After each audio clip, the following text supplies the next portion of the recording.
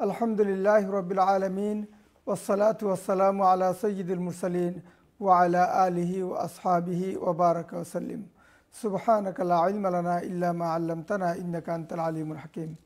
সম্মানিত একরা বাংলা দর্শক শ্রোতা, ইসলামিক কিউএনএ একরা প্রোগ্রামে আপনাদেরকে আন্তরিক মুবারকবাদ। আলহামদুলিল্লাহ আমার সাথে রয়েছেন ব্রিটেনের শ্রদ্ধাভাজন আলিমেদিন সকলের সুপরিচিত শ্রদ্ধাভাজন ব্যক্তিত্ব জামে আতুল খাইর আল ইসলামিয়ার প্রতিষ্ঠা প্রিন্সিপাল মুফতি শেখ আব্দুল মুন্তকিম সাহ আসসালামু আলাইকুম। ওয়ালাইকুম আসসালাম আল্লাহ আসেননি জি মুফতি। আলহামদুলিল্লাহ আল্লাহ শুক্রিয়া। জাজাকুম আপনি কষ্ট করে আপনাকে অনেক ধন্যবাদ আপনি কষ্ট করে অনেক তাড়াহুড়ো করে আসতে হয়েছে আপনাকে। ইদানিং একটা বিষয় নিয়ে খুব আলোচনা হচ্ছে সমাজ অনেকেই কথা বলা বলি করছেন। মোহাম্মদ সাল্লাহ আলি সাল্লাম কবে থেকে নবী হয়েছেন? এই বিষয়ের উপর আমরা ইনশাআল্লাহ আলোচনা শুনব এবং দশ পনেরো পরে দর্শকদের বিভিন্ন গুরুত্বপূর্ণ প্রশ্ন দিকে চলে যাব ইনশাআল্লাহ। জাজাকুমুল্লাহ তালা খেরান জনাব হাফিজ হুসাইন আহমদ সাহেব বিশ্বনাথ হাফিজাক আল্লাহ আল্লাহ তালা আপনাকেও যেন কবুল করেন আপনার প্রতিষ্ঠান জামে মাদানিয়াকেও যেন কবুলিয়ত দ্বারা ধন্য করেন। আল্লাহ মামিন ইয়া রব্বাল আলমিন। সুন্দর একটা প্রশ্ন আপনি নিয়ে এসেছেন। আসলে অনেক মানুষ আমাকেও আজকালকে খুব বেশি কোশ্চেন করছেন তো আমি এই বিষয়ে বলবার একটু চেষ্টা করব ইনশাআল্লাহ। যাতে একটু ঠান্ডা পরিবেশে সঠিক কথা সঠিক অর্থে বুঝবার জন্য আল্লাহ তালা আমাদেরকে তৌফিক দান করেন আলহামদুলিল্লাহ ওকফা ওসালাম আলা ইবাদিহিল্লাদিন ইস্তফা লা সিয়ামা আলা সৈয়দুর রুসুল ওখাতমিল আম্বিয়া ওয়ালা আলিহি ও আসহাবিহি আজমাইন وعلى كل من تبعهم بإحسان إلى يوم الدين أما بعد قال الله سبحانه وتعالى قد لبثت فيكم عمرا من قبله أفلا تعقلون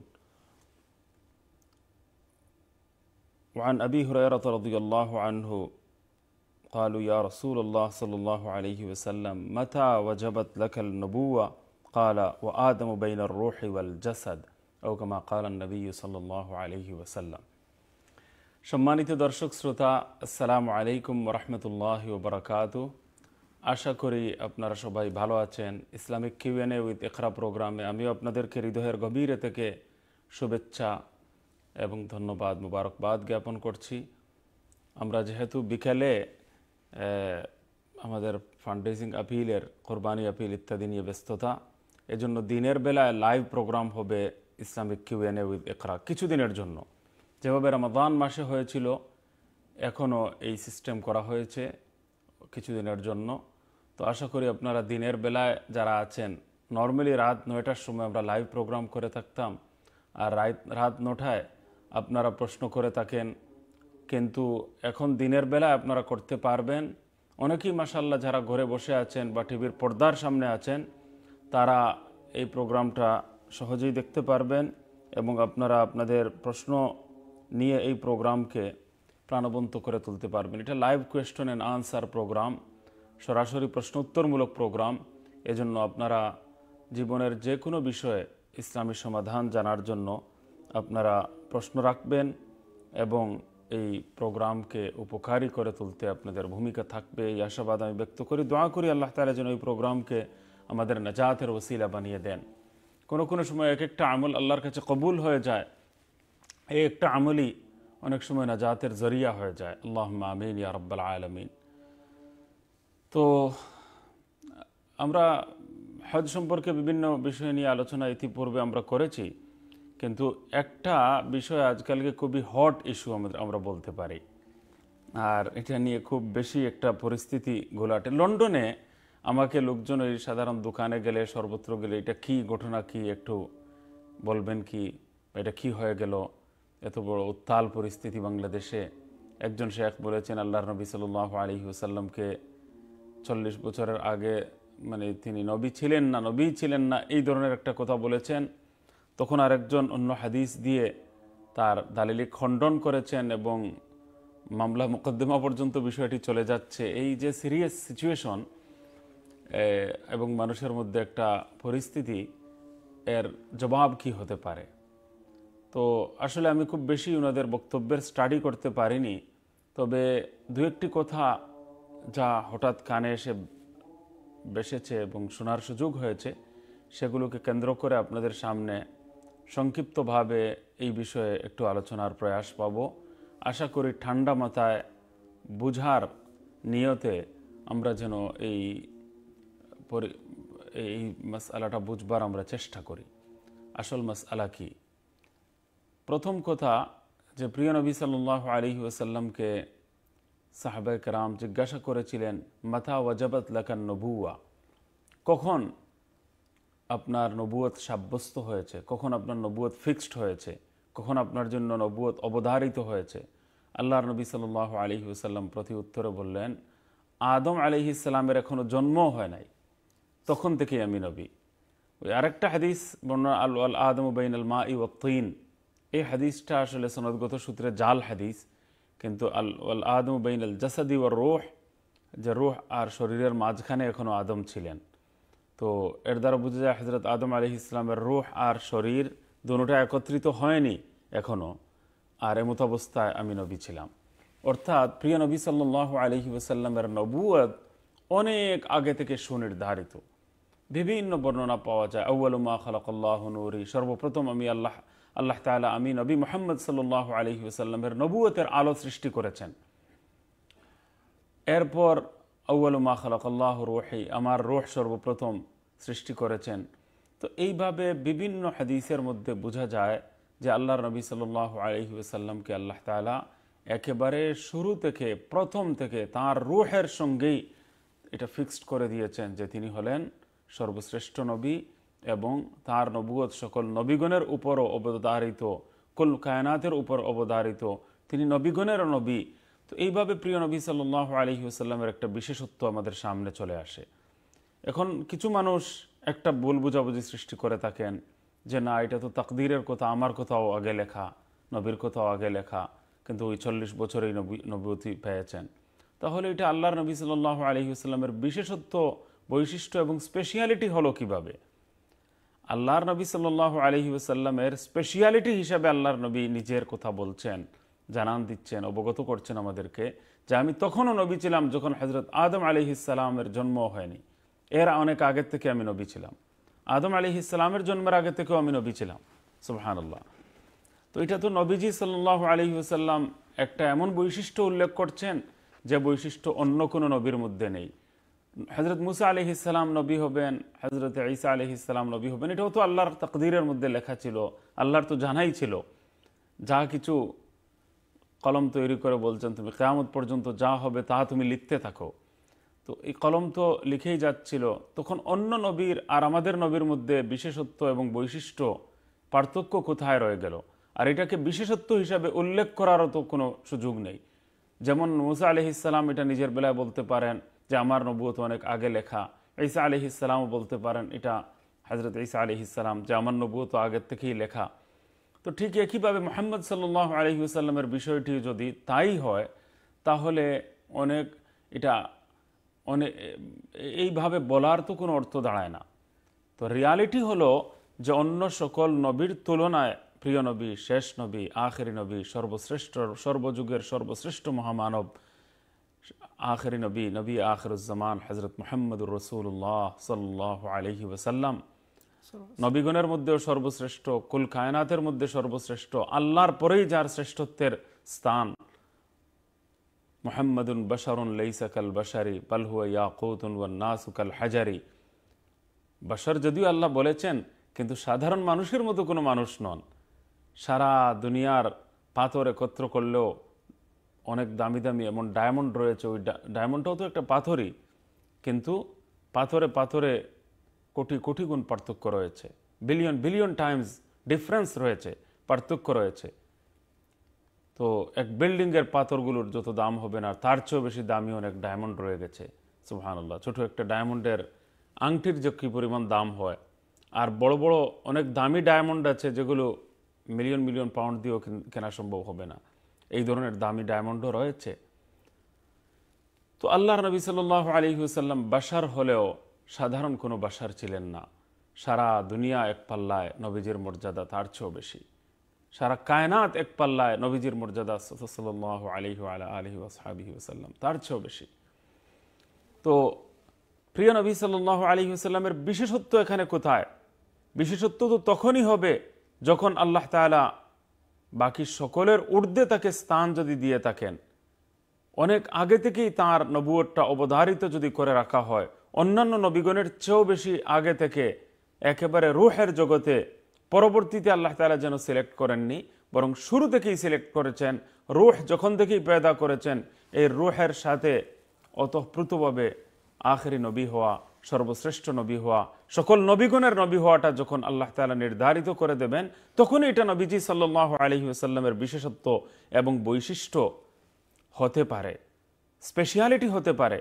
আর যেহেতু এইসব হাদিসের মধ্যে নবীজি সাল্লাহ আলহি ওসাল্লামের স্পেশিয়ালিটি এবং বিশেষত্ব হিসাবে এই কথাটিকে উল্লেখ করা হচ্ছে, বিধায় অন্য সকল নবীগণের মতো তাকদিরের মধ্যে লেখা এই অর্থে শুধু বললে কথাটা আল্লাহর নবীর শান অনুযায়ী মর্যাদা অনুযায়ী স্পেশিয়ালিটি এবং বিশেষত্ব অনুযায়ী কথাটা সঠিক হবে না। জন্য একটা কথা আমি বলতে পারি যে, প্রিয় নবী সাল্লাহ আলহি ওসাল্লামের ব্যাপার, সাহাবায় কারামের ব্যাপার, এগুলোতে আমাদের খুবই সতর্ক হয়ে কথা বলা উচিত। আপনার নিয়ত ঠিক আছে, আপনার বিরুদ্ধে ফতোয়া লাগানো যাবে না, আপনার বিরুদ্ধে কোনো কটু বাক্য ব্যয় করা যাবে না, আপনার বিরুদ্ধে কোনো কুফুরের ফতোয়া আরোপিত হবে না গুমরাহের ফতোয়া আরোপিত হবে না। যেহেতু আপনার আকিদা ঠিক, আপনার আকিদা এবং বিশ্বাস ঠিক, কিন্তু এরপরেও বড় বড় রাইটার যারা ইসলামের বহুবিধ খেদমত আঞ্জাম দিয়েছেন, ভালো ভালো কাজ করেছেন, বই রচনা করেছেন সাহাবে কেরামের বিরুদ্ধে কয়েকটি কথা তাদের কলম থেকে বের হয়ে গেছে। এখন পুরো জীবন নিয়ে এখনও পর্যন্ত একটা পরিস্থিতি এখনও খারাপ। এখনও ওনাদেরকে সকল মানুষ কিন্তু মেনে নিতে পারছে না এবং ওনারা সম্পূর্ণরূপে সমালোচনার পাত্রে পরিণত হয়েছেন আর সব, সর্বত্র ওনাদের নিয়ে বিরূপ মন্তব্য এবং ওনাদের এই লেখাগুলোর কারণে ওনাদের ভালো ভালো খেদমাতের যে মূল্যায়ন হওয়া উচিত ছিল, সেই মূল্যায়নটা হচ্ছে না। লিটল বিট মিস্টেক হওয়ার কারণে। হাকিমুল উম্মদ মুজদ্দিদে মিল্লত শতাব্দীর সংস্কারক আল্লামা আশরফ আলী তানবী রহমতুল্লাহ আলহি এক জায়গায় আল্লাহ নবী সাল্লাহ আলী সাল্লাম সম্পর্কে একটা কথা লিখেছিলেন। ওই সময় একজন উপমহাদেশের আহমদ রেজা খান বেরলবী সাহেব, উনি বিরুদ্ধে বললেন যে এটা নবীজির শানে বেয়াদবি হয়ে গেছে। হজরত মৌলানা আশরফ আলী থানবী রহমতুল্লাহ আলহি বলে ফেলেছিলেন, বলেছিলেন এই কথাটা যে, আমি তো এই অর্থে বলিনি, যে অর্থে, যে অর্থ বের করে তিনি আমার উপর কুফুরের ফতোয়া আরোপ করছেন, আমি তো এই অর্থে বলিনি। টোটালি আমার কনসেপ্ট ডিফারেন্ট ছিল। কিন্তু আমার তাবির পরিবর্তন করে দেওয়ার কারণে, আমার বাচনভঙ্গি আমার শব্দ চেঞ্জ করার কারণে যদি পুরো উম্মতের মধ্যে ফিতনা দমে যায়, তাহলে আমি আমার ভুল স্বীকার করে আমি আমি আমার তাবির আমি ফেরত নিয়ে নিলাম। আমি আমার উপস্থাপনার যে শব্দ এবং বাক্য, সেটা আমি চেঞ্জ করে ফেললাম। তো হজরত তানবী রহমতুল্লাহ আলিহি ফেতনা দমানোর জন্য, ফেতনা শেষ করে দেওয়ার জন্য এবং মুসলমানদের মধ্যে যে বিব্রতকর পরিস্থিতি যে বা যারাই সৃষ্টি করেছিল যে মানুষ নসরুত্তিব ফি নবী হাবিব নামক কিতাব লিখতে পেরেছেন। সুবহান আল্লাহ ইশক এবং ভালোবাসায় সিক্ত একটি গ্রন্থ বলা যায়। যে মানুষের খোলাফায় কারাম সিরাতুল মুস্তফা নামক কিতাব লিখেছেন, সিরাতে খাতমুল আম্বিয়া নামক কিতাব লিখেছেন। সেই আশরফ আলী থানবী রহমতুল্লাহ আলিহি অল্প কিছুদিন পর পর নিজের সবগুলো আমল সুন্নত মোয়াফিক হচ্ছে কিনা, এর জন্য নিজে এক সপ্তাহের জন্য সব কাজ থেকে ছুটি নিয়ে নিতেন এবং সবগুলো আমল পুনর্যাচাই করে দেখতেন যে সবগুলো কাজ, প্রতিটি উঠা, বসা, চলাফেরা সব কিছু সুন্নত মোতাবেক হচ্ছে কিনা। এই মহাসভা এবং আত্মসমালোচনা যে মহান ব্যক্তিত্ব করতেন, আল্লাহ আকবার।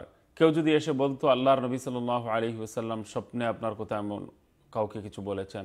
তো তিনি সব আমল বাদ দিয়ে কয়েকদিন পর্যন্ত দরুদ শরীফের ওয়েদ অব্যাহত রাখতেন।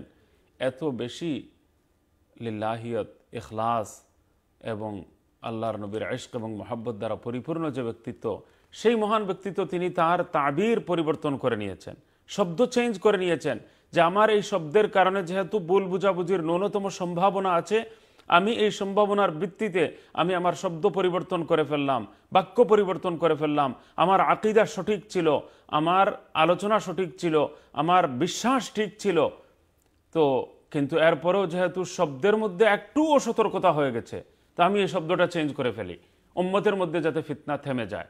তো আমিও বলব যে যদি শব্দ চেঞ্জ করার কারণে, বাক্য পরিবর্তনের কারণে যদি উম্মতের মধ্যে ফিতনা বন্ধ হয়ে যায়, আর পর্যালোচনার দরজা, উন্মুক্ত দরজাটা একটু যদি বন্ধ হয়ে যায়, আর উম্মত বড় একটা ফিতনা থেকে বেঁচে যায়, তাহলে অনেক সময় শব্দ পরিবর্তন করে ফেলাই হাকিমুল উম্মদ হজরত থানবী রহমতুল্লাহ আলহির একটা আমল দ্বারাও আমরা এটা দেখতে পাই এবং এটা আকাবিরের সুন্নত আমরা বলতে পারি এবং ফিতনা দমানোর জন্য এটাই যে সঠিক পন্থা, এটা আমি বলতেই পারি।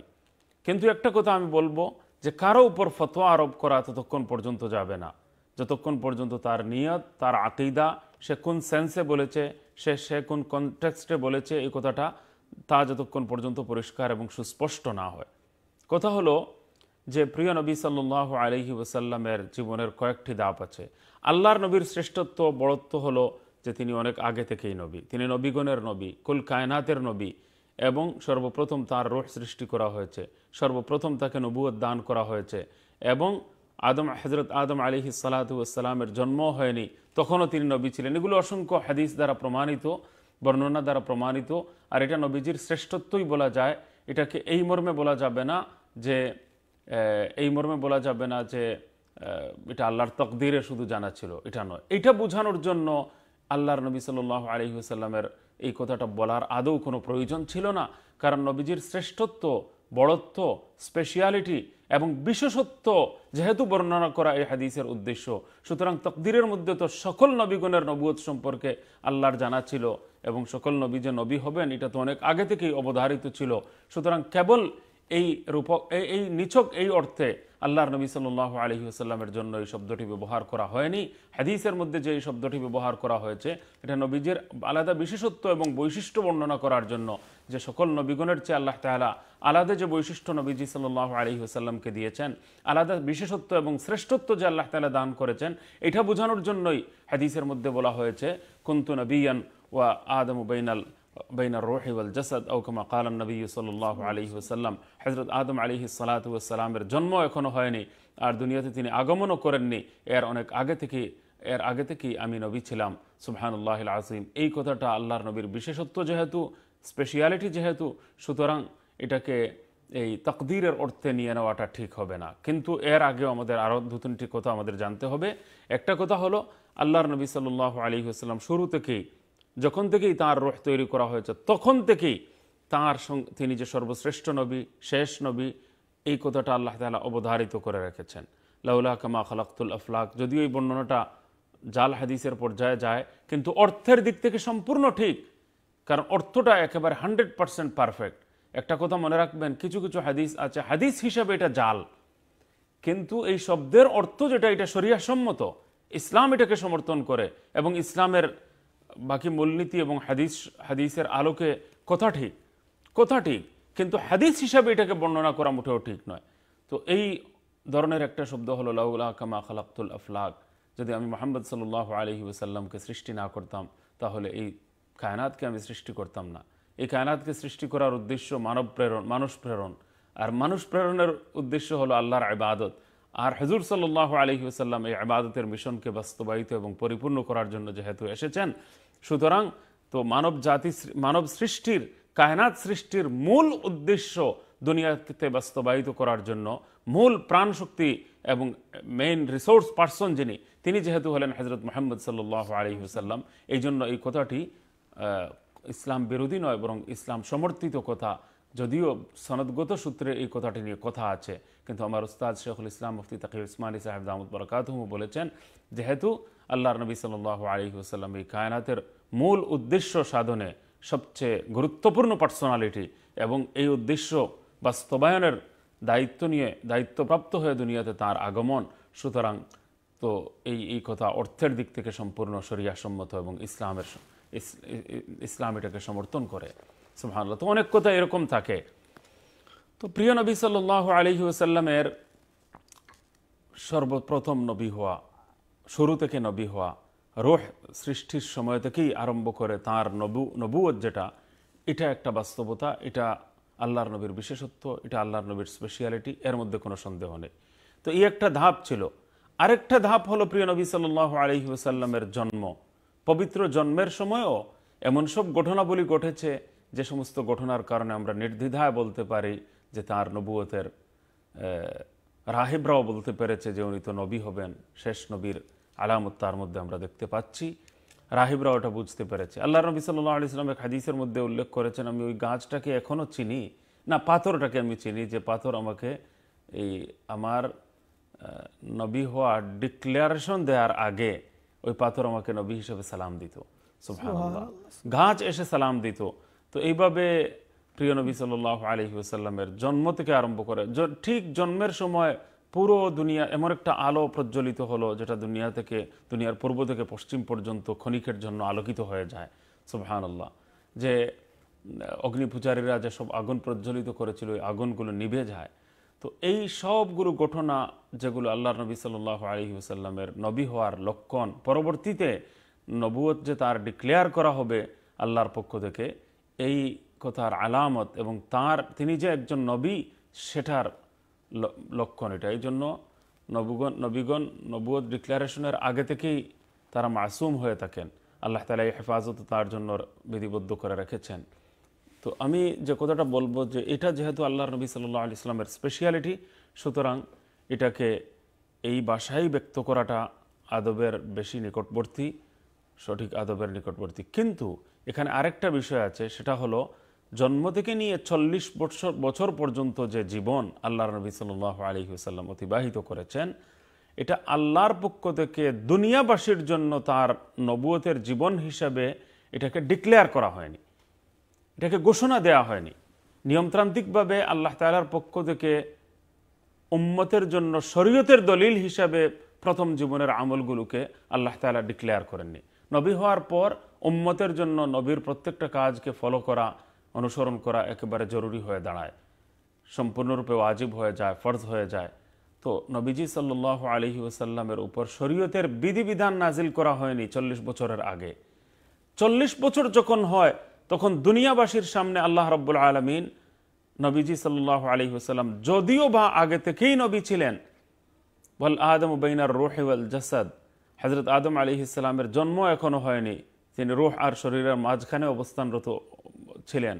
সেই সময় থেকে যেহেতু আল্লাহ তালা তাকে নবী বানিয়েছেন, এটা তো বাস্তবতা।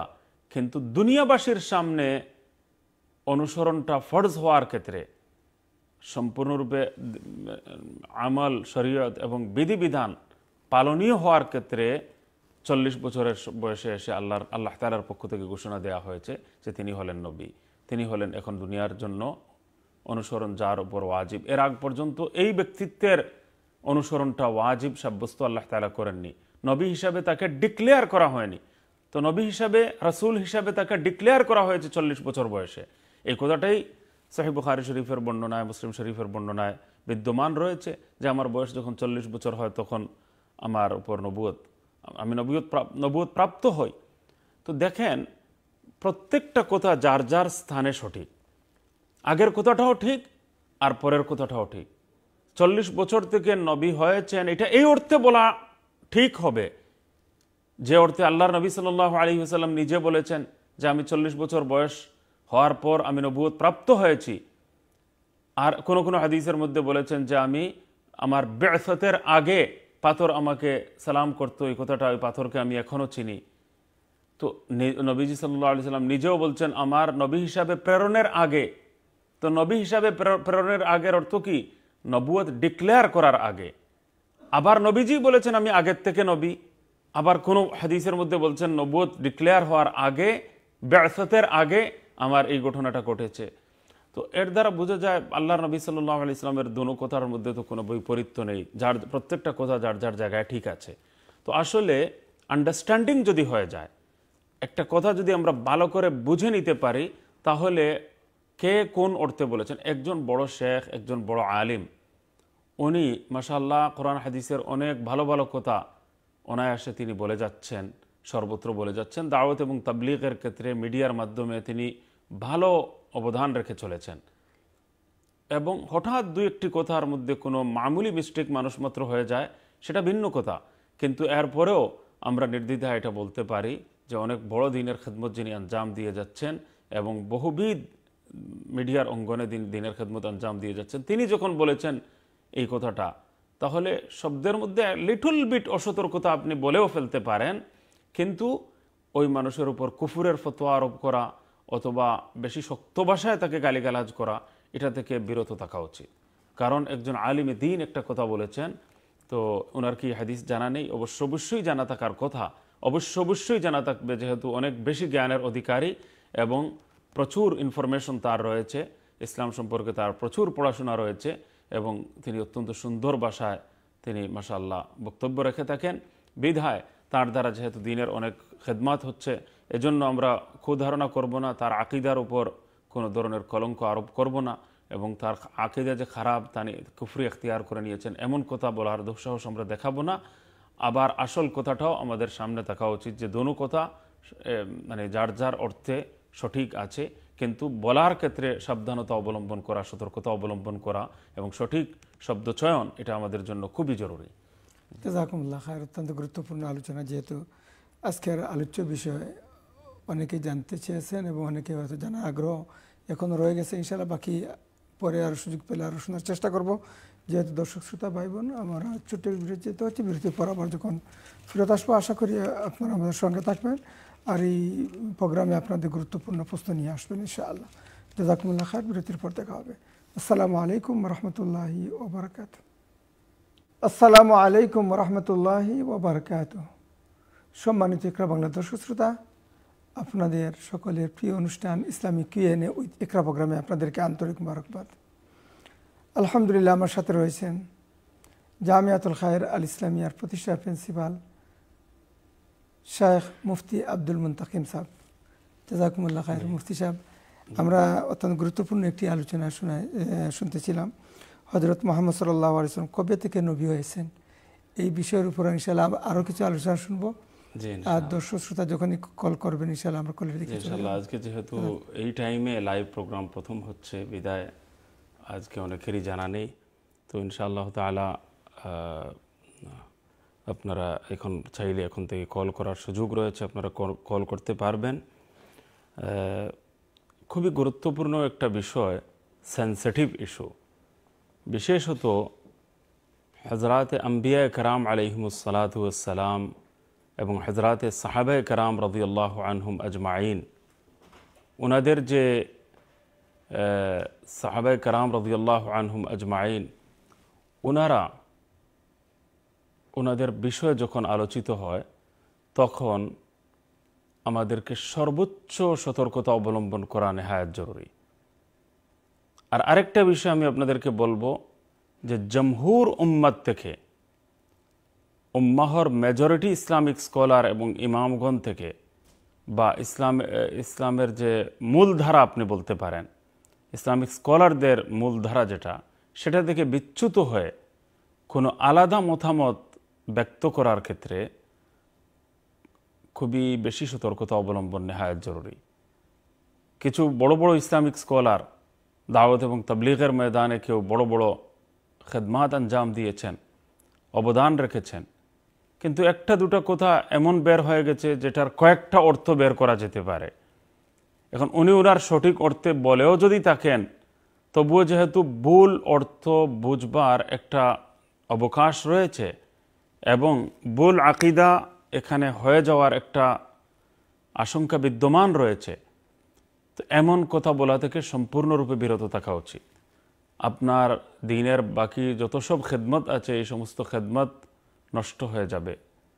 সবগুলো খেদমতের উপর আপনি পানি ডেলে দিলেন। আপনি নিজের জন্য একটা বিব্রতকর পরিস্থিতি নিজেই তৈরি করলেন। তো হজরত আল্লামা সৈয়দ সুলেমান নদী রহমতুল্লাহ আলিহি অনেক বড় একজন গুরুত্বপূর্ণ ব্যক্তিত্ব ছিলেন। হজরত সুলেমান নদী রহমতুল্লাহ আলহি যার লেখা সিরাতুন্নবী নামক কিতাব সাল্লাহ আলহি ওসাল্লাম বিশ্ববিখ্যাত একটি গ্রন্থ এবং সিরাতের উপর ইনসাইক্লোপিডিয়া ওনার উস্তাদ আল্লামা মৌলানা শিবলি যে কিতাব রচনা আরম্ভ করেছিলেন, আল্লামা শিবলি, সেটাকে তিনি কমপ্লিট করেছেন, আল্লামা সৈয়দ সুলেমান নদী রহমতুল্লাহ আলী তো উনি এক জায়গায় উল্লেখ করেছেন যে উম্মতের মেজরিটি স্কলার জমহুর উম্মত যাদেরকে বলা হয়, জমহুর উম্মা স্কলারদের মেজরিটির অংশ এবং মূলধারা থেকে বিচ্যুত হয়ে কিছু কিছু কথা বলার অপরাধে আমিও অপরাধী। এই অপরাধ যেন ভবিষ্যতে কেউ না করে। এটা আল্লামা সৈয়দ সুলেমান নদী রহমতুল্লাহ আলহির পরামর্শ যে উম্মাহর মেজরিটি স্কলার্স থেকে, মূলধারা থেকে বিচ্যুত হয়ে আলাদা দু একটি কথা বলার কারণে একটা ভয়াবহ পরিস্থিতির সম্মুখীন হতে হয়। একটা নতুন ফেতনার জন্ম হয়। আবার এটাকে এক্সপ্লেন দিয়েও কোনো লাভ হয় না। এক পর্যায়ে ক্ষমা প্রার্থনা করতে হয়। আপনারা অতীতে দেখেছেন, বড় বড় বক্তা, হঠাৎ একটা ভালো কথা বের হয়ে গেছে, কোনো এলাকার লোকজনের উপর ইনসল্ট হয়ে গেছে। ওই এলাকায় গিয়ে তাকে ক্ষমা প্রার্থনা করতে হয়েছে। তাকে বিরাট বড় বিরোধিতার সম্মুখীন হতে হয়েছে।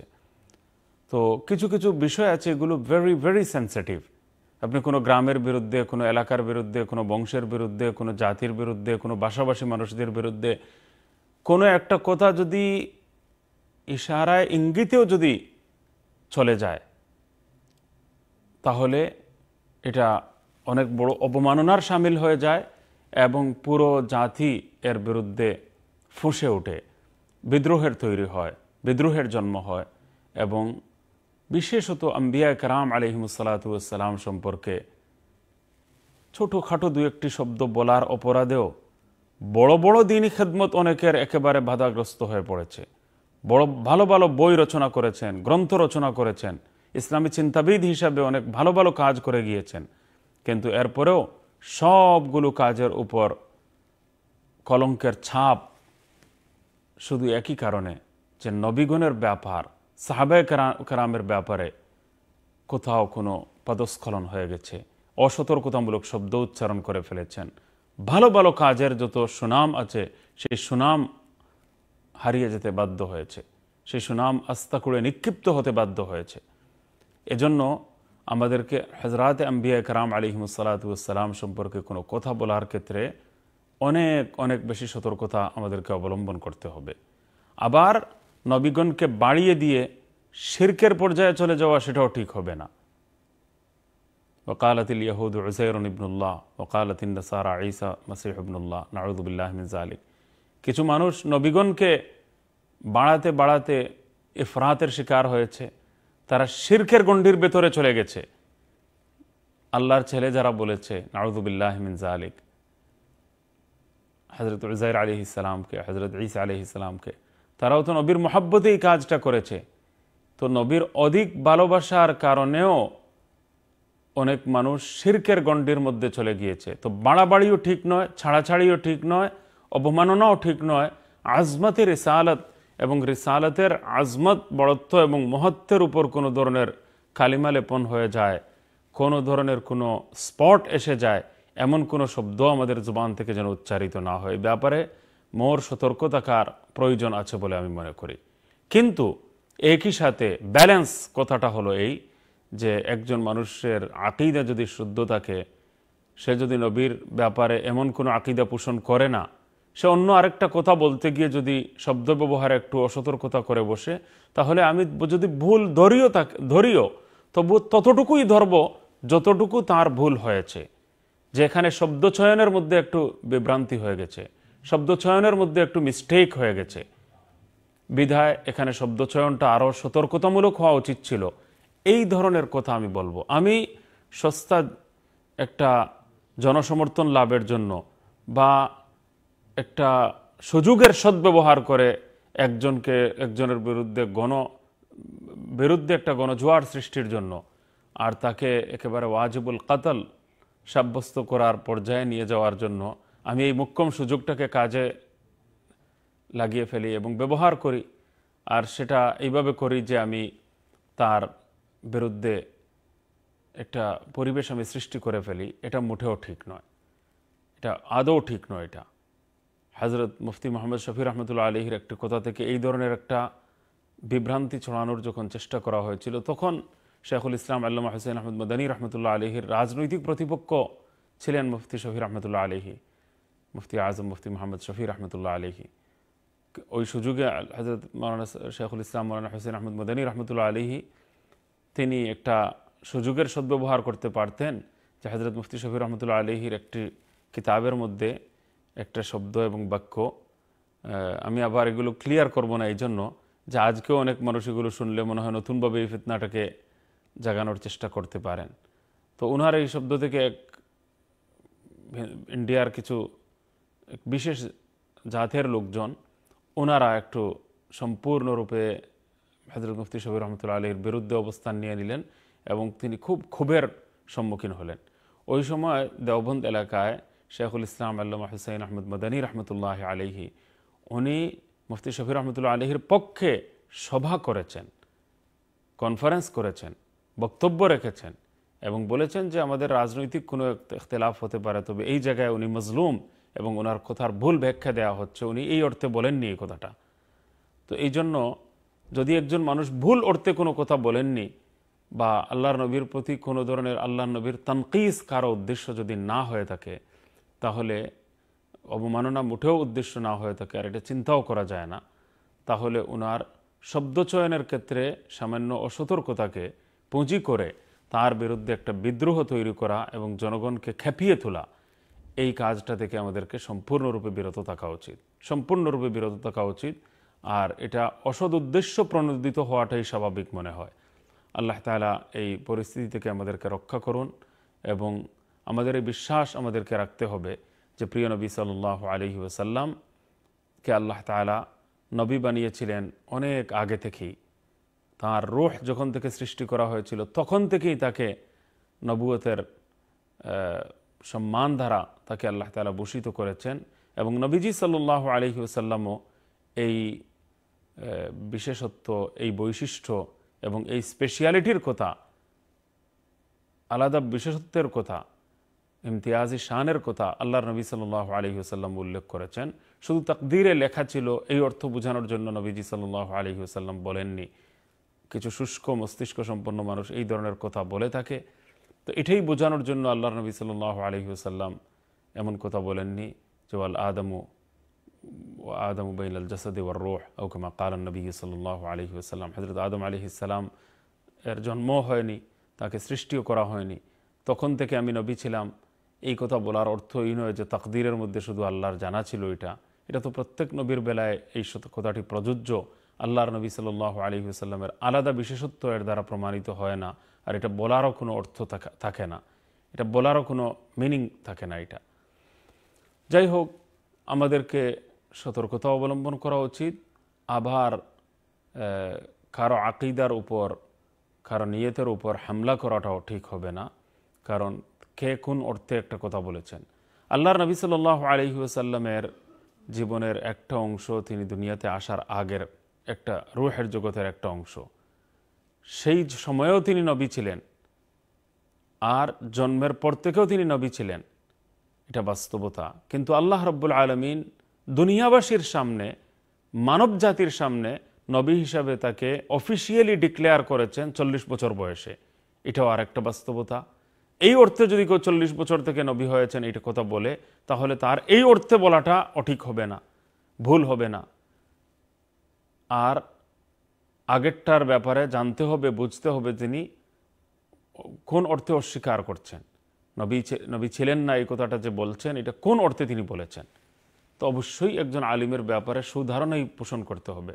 হাদিসের মধ্যে বলা হয়েছে ভান্নু বিল মুসলিমি খাইরা সকল মুসলমান সম্পর্কে তুমি সুধারণা পোষণ করবে, খারাপ ধারণা পোষণ করবে না।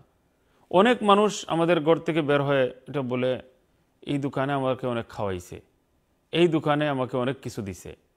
মানে এই দোকান দ্বারা তিনি উপকৃত হয়েছেন কি, দোকানকে খোদা বানিয়ে ফেলেছেন, দোকানকে কি গড বানিয়ে ফেলেছেন, আল্লাহ বানিয়ে ফেলেছেন নাউদুবিল্লাহ আপনি যদি ওই মানুষকে জিজ্ঞাসা করেন যে, আল্লাহ দেন রিজেক দান করেন না, দোকান রিজেক দেয় তো সে পরিষ্কার ভাষায় বলবে যে, দোকান রিজেক দেয় না আল্লাহ রিজেক দেন।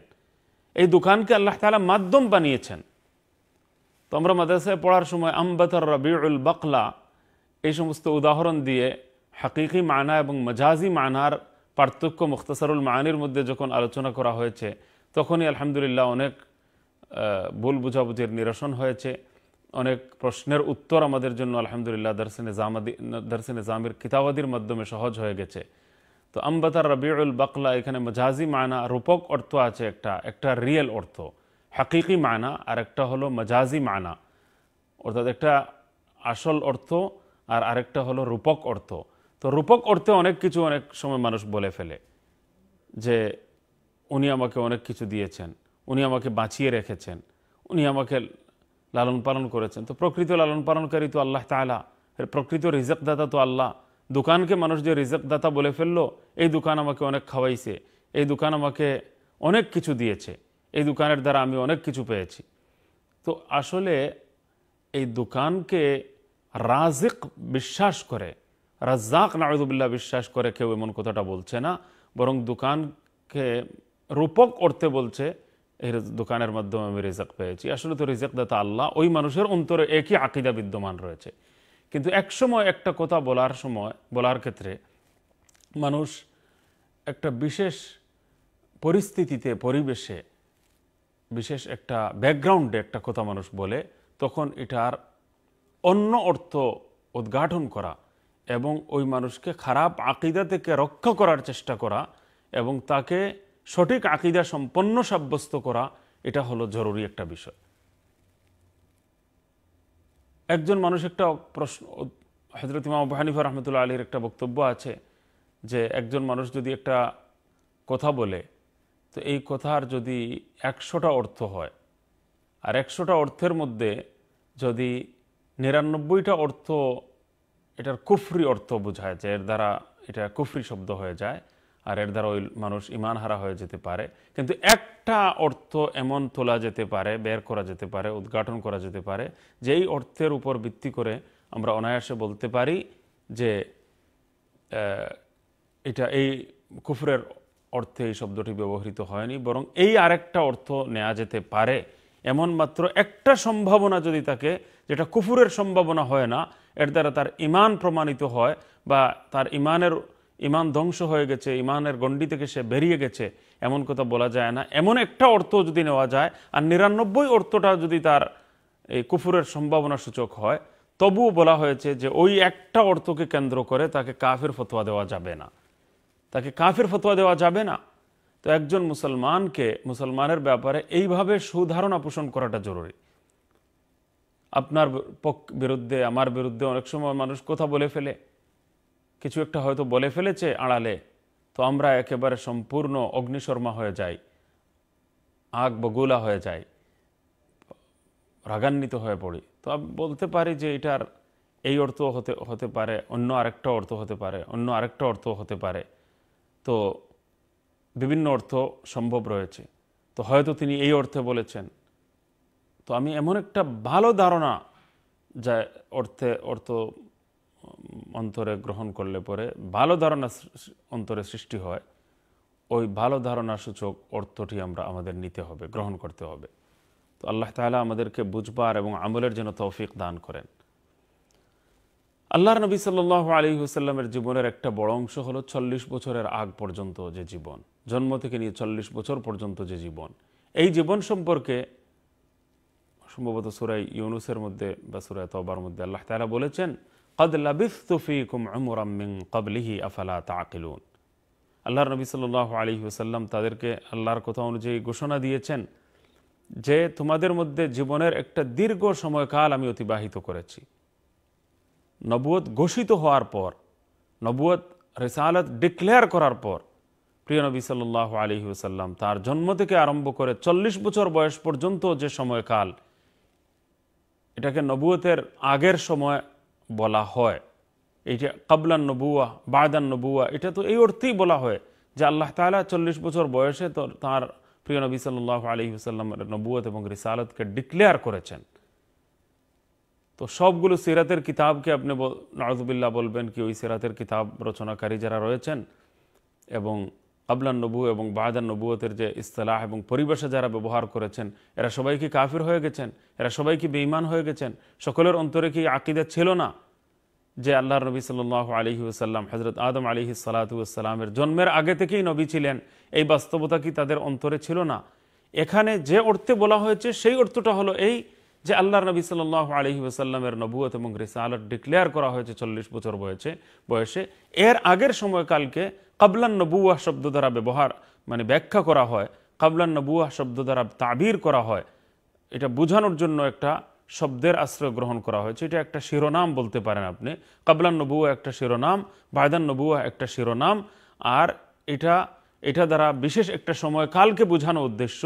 আর বায়দান নবুয়া দ্বারা চল্লিশ বছরের পরের সময়টা, চল্লিশ বছর থেকে আরম্ভ করে পরবর্তী তেষট্টি বছর পর্যন্ত যে সময়টা, এটাকে বোঝানোর উদ্দেশ্য ছিল। তো আল্লাহর নবী আল্লাহ সাল্লাহ আলী হুসাল্লাম ঘোষণা দিলেন যে, তোমরা আমার নবী হওয়াটাকে বিশ্বাস করতে পারছ না, আমাকে নবী হিসাবে মেনে নিতে পারছ না। তো আমি কি তোমাদের মধ্যে জীবনের একটা দীর্ঘ সময়কাল অতিবাহিত করিনি? দীর্ঘ চল্লিশ বছরের দীর্ঘ সময়কাল তোমাদের মধ্যে কি আমার অতিবাহিত হয়নি? কাদলা বিস্তুফিকুম আমরাম্মিং কবলিহি এরপরই কি এরপরও কি তোমাদের বোধোদয় হবে না? এরপরও কি তোমাদের আকল এবং বুদ্ধি আসবে না? তোমরা অনুমান করতে পারবে না সঠিক আকিদা বিশ্বাস তোমরা স্থাপন করতে পারবে না। সেটা আমার মনে হয় দর্শক শ্রোতা আরও শুনতে চান। এই বিষয়ে যেহেতু দেশে আসলে আমি যে কথাটা বলছিলাম যে প্রিয় নবী সাল্লাহ আলী হুসাল্লামের জন্মের জন্মের আগ পর্যন্ত রুহের জগতেও আমরা নির্দ্বিধায় বলতে পারি যে আল্লাহর নবী সাল্লাহ আলী হুসাল্লাম সহি হাদিস অনুযায়ী তিনি নবী ছিলেন। আর জন্ম থেকে আরম্ভ করে চল্লিশ বছর বয়স পর্যন্ত যে সময়টাকে পরিভাষায় কাবলান নবুয়াহ বলা হয় নবুয়তের আগের জীবন বলা হয়, এই সময়টা সম্পর্কে আল্লাহর নবী সাল্লাহ আলহি আসাল্লাম কি বলেছেন তা কোরআন শরীফের মধ্যে আল্লাহ তালা জানিয়ে দিয়েছেন। কদ লাবিফতুফিকুম উমরাম্মিন কবলিহি আফালা তাকিলুন হে দুনিয়ার মানুষেরা, তোমাদের মধ্যে আমি জীবনের একটা দীর্ঘ সময়কাল অতিবাহিত করেছি। লম্বা একটা সময় অতিক্রান্ত হয়েছে আমার। এরপরেও কি তোমাদের বোধোদয় হবে না? তো আল্লাহর নবী সাল্লাহ আলী হুসাল্লাম জন্ম থেকে নিয়ে চল্লিশ বছর পর্যন্ত যে সময় ছিল, এর মধ্যে কোনোদিন কোনো মিথ্যা বলেননি। তাকে আল আমিন সাদেক উপাধি জনগণ দিয়েছে, মক্কার জনগণ দিয়েছে, যারা কুফুরের মধ্যে নিমজ্জিত। তারা এই উপাধি তাকে দিয়েছে যে তিনি সাদেক, তিনি সত্যবাদী, তিনি আল আমিন, বিশ্বাসী। তো বিশ্বাসযোগ্যতার পরিপন্থী কোনো একটা কাজও তার দ্বারা সংগঠিত হয়নি। মিথ্যা কোনো কথা তিনি জীবনে বলেননি। আমানতের উল্টো কোনো কাজ তিনি করেননি। আল আমিন আর সাদেক উপাধি তাকে দেয়া হয়েছে। আর ওই সময় চল্লিশ বছর পর্যন্ত তোমরা আমাকে একদিনও মিথ্যা কথা বলতে দেখনি, একদিনও ধোকা দিতে দেখনি কারোর সঙ্গে প্রতারণা করতে দেখনি। কোনো একটা প্রতারণার, মিথ্যা বলার, আমানতের পরিপন্থী কোনো কাজ করার কোনো একটা প্রমাণও নেই। ফুল আল্লাহ তালা আমাকে নিষ্কলুষ রেখেছেন। তো যে মানুষ চল্লিশ বছর পর্যন্ত একবারও কোনো মিথ্যা কথা বলেনি দোখা দেয়নি, চালাকি করেনি, লোকজনকে দোখা দেয়নি, এমন মানুষ হঠাৎ করে এসে এত বড় মিথ্যা দাবি করে ফেলবে, এটা তো ইম্পসিবল এই মানুষের মধ্যে মিথ্যা এক না একদিন কোনো না কোনো এক সময় কোনো না কোনোভাবে তার কোনো না কোনো একটা মিথ্যা ধরা পড়া স্বাভাবিক। এবং যদি কেউ নিজেকে লুকিয়ে রাখার চেষ্টা করে, তবুও কিন্তু এটা প্রকাশ পেয়ে যায়। লোকজন কিছুদিন ভালো ভালো ভালো বলে, বলবেন, আর পরে আরেকদিন বলে, এটা চিনো না এই লোকটাকে। এটা উপরে উপরে খুব ভালো, ভেতরে ভেতরে কিন্তু সে খুব চালাক বা খুব ধোকা দিচ্ছে। তো এটা চল্লিশ বছর পর্যন্ত একাধারে সম্পূর্ণরূপে মাসুম এবং নিষ্পাপ হওয়ার সার্টিফিকেট কেউ ধরে রাখতে পারবে না। এই মিথ্যা ধোকা দিয়েও জনগণকে ধোকার মধ্যে ফেলে রাখা সম্ভব নয়। তো আল্লাহ তালা এই চল্লিশ বছর অতিবাহিত হওয়ার পর দুনিয়াবাসীর সামনে মানব জাতির সামনে আল্লাহ তালা ডিক্লেয়ার করলেন যে তিনি হলেন নবী। তো এই জন্য ওলামায় কারাম একটা কথা বলেছেন যে আল্লাহর নবী সাল্লাহ আলী হুসাল্লামের জন্ম থেকে নিয়ে চল্লিশ বছর পর্যন্ত যে সময়কাল, এই সময়কালটা হলো নবীর জন্য নবুয়তের দলিল। তিনি যে সত্যবাদী নবী, এর দলিল হিসাবে আল্লাহ তালা এই সময়কালটা নির্ধারিত করে রেখেছেন। আর চল্লিশ বছর পর যখন নবুয়ত ডিক্লেয়ার করলেন, নবী হওয়াটা ডিক্লেয়ার করলেন, ঘোষণা দিলেন, তখন থেকে আরম্ভ করে বাকি যে সময়কালটা, এই সময়কালটা হলো চল্লিশ বছর থেকে তেষট্টি বছর পর্যন্ত যে সময়কাল, এই সময়কালটা হলো উম্মতের নবীর জীবন, উম্মতের জন্য শরীয়তের দলিল। তো এখন ভালো করে বুঝতে হবে যে আল্লাহর নবী সাল আলী ওসাল্লামের জন্ম থেকে, পবিত্র শুভ জন্ম থেকে আরম্ভ করে চল্লিশ বছর পর্যন্ত যে সময়কাল, এটা হলো নবীর জন্য নবুয়তের দলিল, উম্মতের জন্য দলিল নয় এটা। উম্মতের জন্য এটা শরীয়তের দলিল নয়। এটা নবীর জন্য সঠিক নবী হওয়ার, সত্যবাদী নবী হওয়ার একটা দলিল হিসাবে আল্লাহ তালা এই সময় কালটাকে রেখেছেন।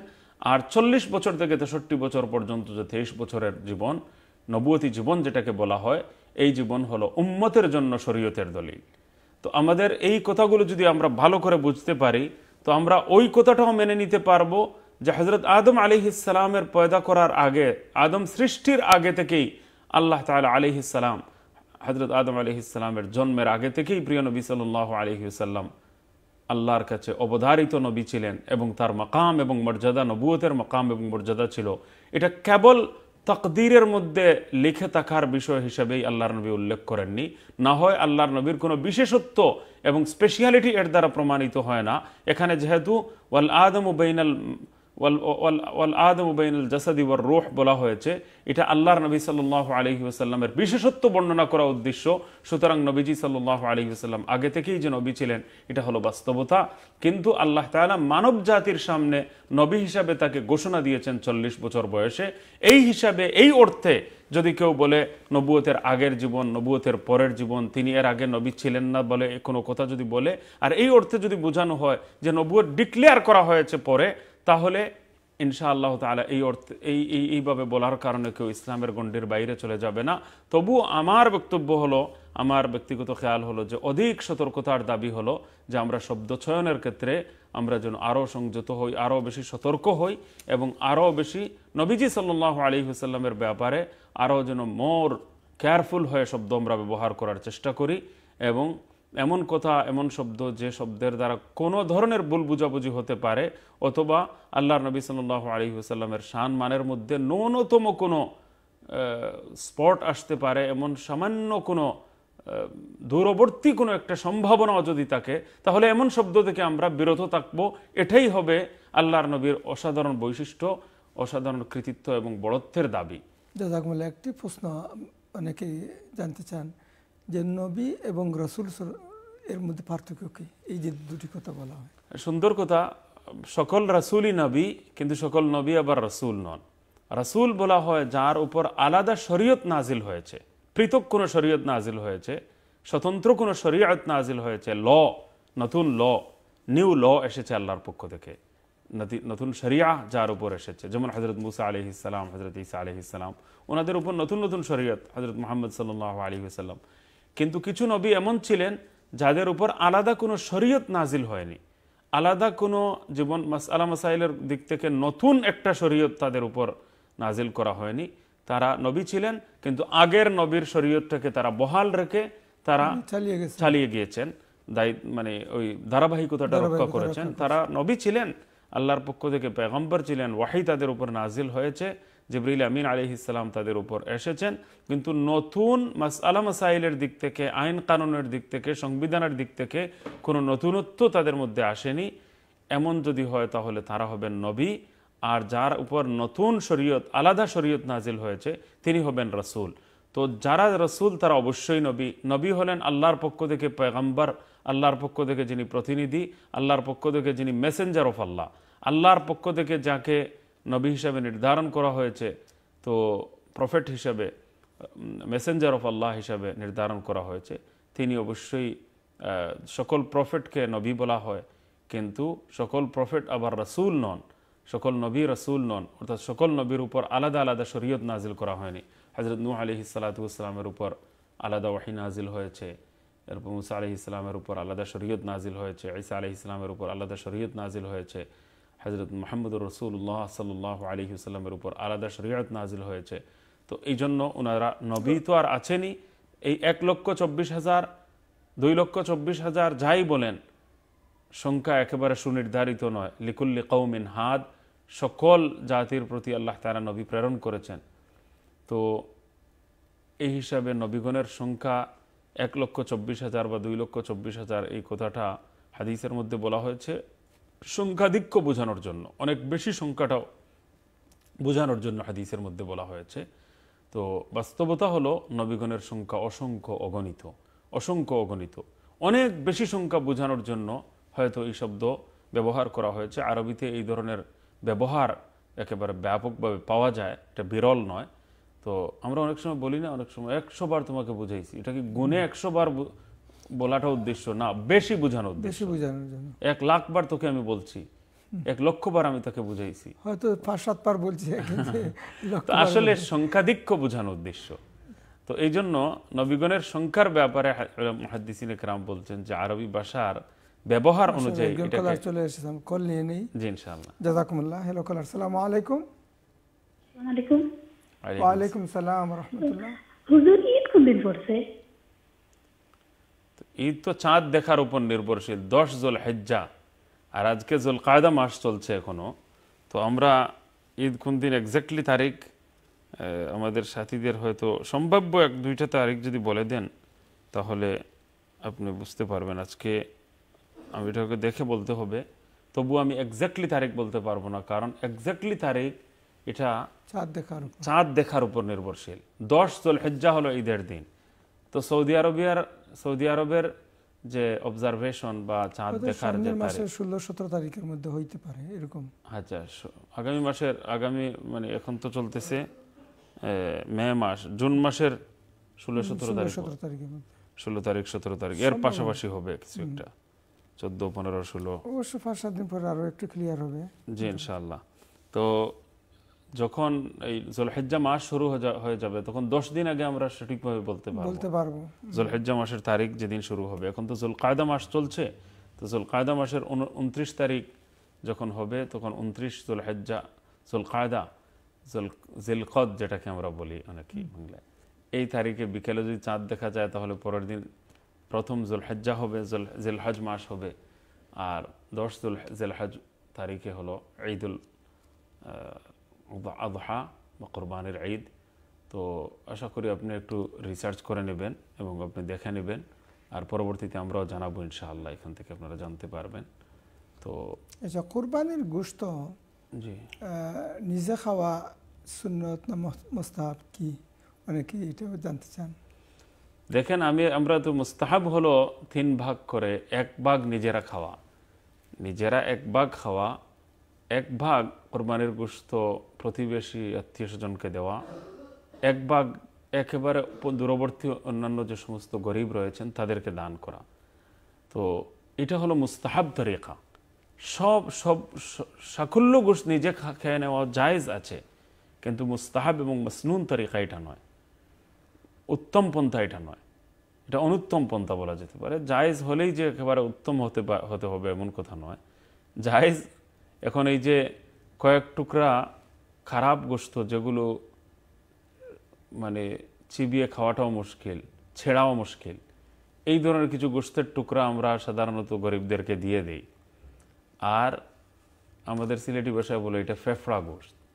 এই ফেফড়া ফেফড়া গোস্ত যেটা হাড্ডি এগুলি। হাড্ডি বা যেগুলো গোস্ত খেতে তো স্বাদের নয় বা এটা ছেঁড়াও মুশকিল হয় এই পার্টগুলো আমরা গরিবদেরকে দিয়ে থাকি। আর ভালো গোস্তগুলো ফ্রিজ ভর্তি করে আমরা নিজের বাসায় রেখে দিই। আল ইয়াজুবিল্লাহ এক এক বাসায় কোথাও কোথাও পাঁচ, পাঁচটি ফ্রিজ ছয়, ছয়টি ফ্রিজ ভর্তি করে কয়েকটি গরু একেবারে সারা বছরের জন্য রেখে দেওয়া হয়। কয়েকটি গরু। তো এরা কোরবানি দেই শুধু নিজে গুস্ত খাওয়ার জন্য। হাদিসের মধ্যে এসেছে, যদি শুধু নিজে খাওয়ার জন্য গোস্ত খাওয়ার জন্য যদি কোরবানি দেয়, এটা কবুল হবে না। কোরবানি আমরা দেব, জন্তু, পশু, জবাই করব, কোরবানির আবেগ নিয়ে। ত্যাগের মহিমায় বাস্বর হয়ে, আল্লাহর হুকুম পালনার্থে এবং কোরবানি যে সওয়াবের কাজ এবং আল্লাহর জন্য জন্তু জবাইয়ের যে নির্দেশনা, সেটা পালনের উদ্দেশ্যে, কোরবানির অফুরন্ত সওয়াব হাসিলের উদ্দেশ্যে আল্লাহকে রাজি এবং সন্তুষ্ট করার জন্য আল্লাহর নামে জন্তু জবাই করার যে একটা বিধান কোরবানির সুরতে রাখা হয়েছে, যেটাকে হজরত সৈয়দুনা ইব্রাহিম আলী ইসলামের কোরবানির সঙ্গে এটাকে জুড়ে দেওয়া হয়েছে। আর এর মাধ্যমে আমাদের মধ্যে একটা চিন্তার জগতে একটা বিপ্লব সাধন করা হয়েছে। এই নিয়তে আল্লাহর তকারুবের উদ্দেশ্যে জন্তু জবাই যদি হয়, আল্লাহর নৈকট্য অর্জনের উদ্দেশ্যে আল্লাহর হুকুম পালনার্থে কোরবানির নিয়তে পশু জবাই যদি করা হয়, তাহলে এটা হবে কোরবানি। আর এই নিয়তে কোরবানি করাটা জরুরি। গোস্ত খাওয়ার উদ্দেশ্যে কোরবানি করলে কোরবানি হবে না। শুধু গোস্ত খাওয়ার উদ্দেশ্যে তবে গোস্ত খাওয়া জায়েজ। সব গোস্ত গোস্ত যদি নিজেরা খেয়ে ফেলে, তবুও জায়েজ। কিন্তু আসল, উত্তম এবং মুস্তাহাব পন্থা হলো যে তিন ভাগ করা, এক ভাগ নিজেদের জন্য, এক ভাগ প্রতিবেশী আত্মীয় স্বজনের জন্য, এক ভাগ দূরবর্তী গরিবদের জন্য। তো এর দ্বারা একটা শরীয়তের মানসা আমরা বুঝতে পারি সহজে। শরীয়তের ইচ্ছা আমরা ভালো করে অনুধাবন করতে পারি, বুঝতে, বুঝে বুঝে উঠতে আমাদের সক্ষম হই। সেটা হলো যে ওয়ান থার্ড কোরবানি, এক তৃতীয়াংশ কোরবানি সাধারণ দূরবর্তী গরিবদের মধ্যে বিতরণ হয়ে যেতে হবে। তো আমাদের কি পুরো মুসলিম বিশ্বে যা কোরবানি হয় লক্ষ লক্ষ কোটি কোটি, এর কি ওয়ান থার্ড গরিবদের পর্যন্ত পৌঁছে যায়? মুঠেও নয়। মানে বেশিরভাগ আমরা রেখে ফেলি, কিছুটা আমরা দিই, বেশিরভাগ ক্ষেত্রে আমরা এটা দেখতে পাই। গ্রামে গঞ্জে আমরা দেখি, আলহামদুলিল্লাহ, আল্লাহ শুক্রিয়া। আমাদের ছোটবেলায় এটা এই তিন ভাগই করা হতো। যখন দুই তিন নাম কোরবানি দেওয়া হতো, বেশি মানুষ ছিলেন না মাত্র। ওই সময়ও আমরা মানে তিন ভাগ করে দেওয়াটার এই মুস্তাহাবের উপর আমলটা আলহামদুলিল্লাহ মুসলমানদের মধ্যে, গ্রামের মুসলমানদের মধ্যে ছিল। গরিব মুসলমানদের মধ্যে বলা যায় ছিল। আর বেশি ধনী যারা, তারা বেশিরভাগ রেখে দিতেন। এটাও আমরা লক্ষ্য করেছি। তো তিন ভাগের এক ভাগ, তো ওয়ান থার্ড কোরবানি গরিবদের পর্যন্ত পৌঁছে দিতে হবে। এর একটা দাবি হলো যে আমাদের মানে এর দ্বারা আমরা শরীয়তের মিজাজ, শরীয়তের রুচি, শরীয়তের মানসা, শরীয়তের ইচ্ছা আমরা ভালো করে বুঝতে পারি যে ওয়ান থার্ড কোরবানি জেনারেল গরিবদের পর্যন্ত পৌঁছে দেওয়াটা শরীয়তের দাবি, ইসলামের চাহিদা, ইসলামের মানসা।